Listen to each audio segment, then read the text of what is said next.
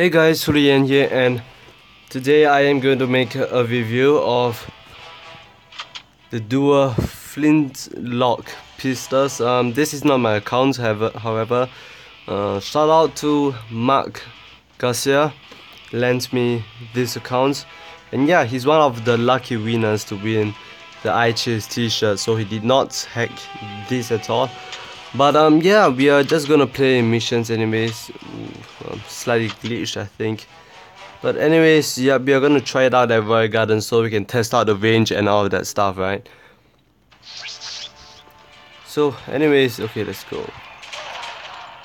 Bam. Okay somehow that did not hit. Oh looks like pretty OP weapon.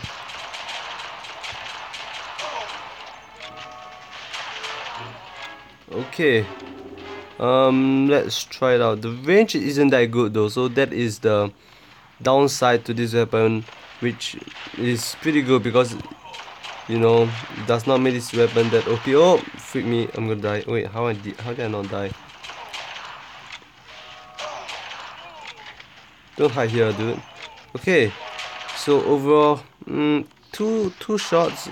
It's a little bit hard. Uh, it does take a little bit of skill. Not gonna say much though. Mm.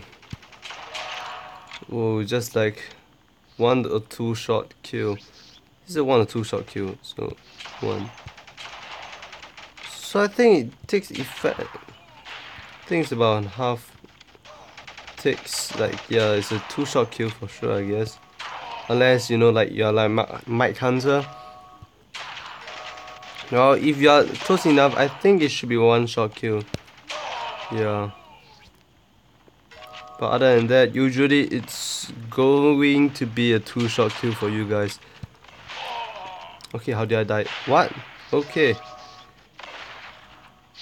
But anyways, yep. Um, overall, I think it's uh, pretty OP in Sandtown, I would say, because you know you can just kill so many people you know you can just camp out and kill so many people from left.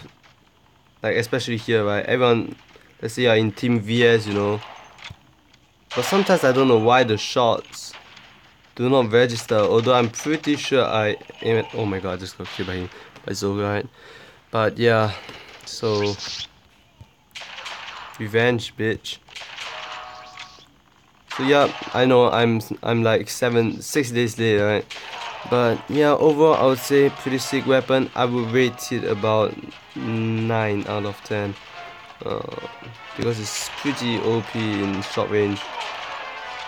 But yeah anyways this off.